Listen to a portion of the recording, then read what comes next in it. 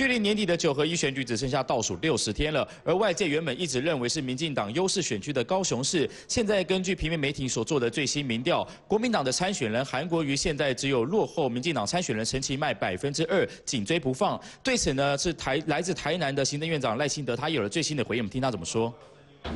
是行政院主要的工作是发展经济、建设国家啦。呃，我本身来自台南，那目前我理解的状况是，中南部的选情算算称稳定了。那高雄？高雄一样稳定。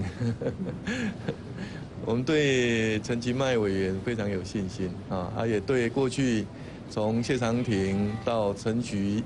呃，团队打下来的基础也非常有信心。好，另外针对外交议题，中国大陆和梵蒂冈签订了历史性的协议，外界现在是认为台梵之间的邦交关系可能会生变。对此呢，赖清德有了最新说法，听他怎么说。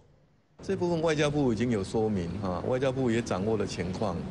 当然，台湾是啊非常希望能够跟啊梵蒂冈维持一个稳定的外交关系，我们会尽各种努力。